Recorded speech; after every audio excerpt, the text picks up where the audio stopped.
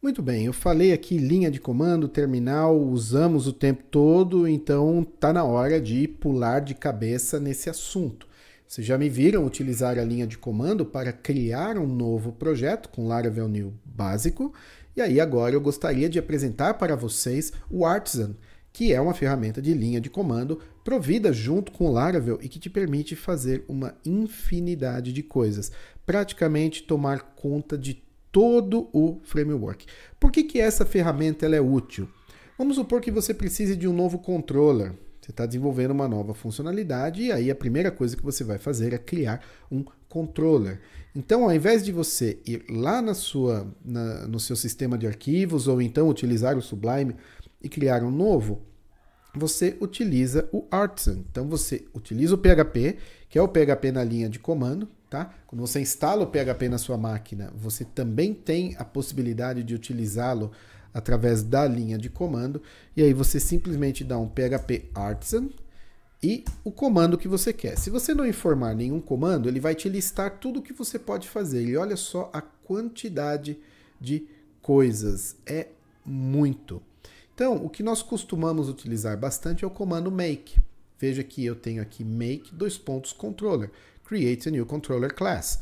E aí o artisan, ele já sabe aonde ele deve incluir esta classe e aí já coloca esta classe à disposição para que você possa utilizá-la sem precisar fazer nenhum require, tá?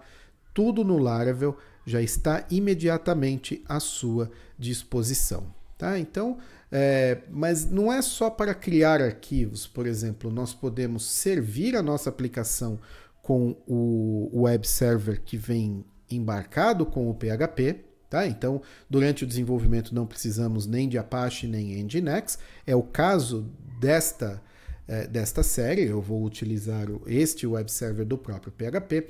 Eu posso é, colocar a aplicação em modo manutenção e aí uma mensagem Be Right Back será mostrada ao seu usuário. Posso colocar de volta uh, a aplicação depois de ter feito a atualização. Eu posso usar o Tinker para interagir com a aplicação, com, com as minhas classes, objetos, banco de dados, sem precisar do browser, tudo pela linha de comando, tá? E muitas outras coisas, tá? Nesse começo, nós vamos utilizar o comando de migrate, tá?